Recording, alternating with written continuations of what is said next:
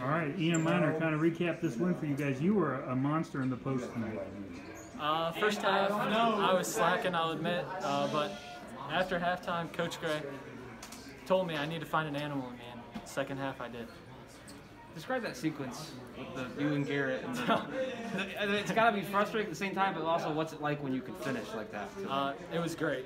I mean, we were, I think we were both looking for a foul, but at, I mean, at the end we made it in. So Have you ever seen a five offensive rebound possession like that before? I don't know if I have. I don't think I have either, to be honest.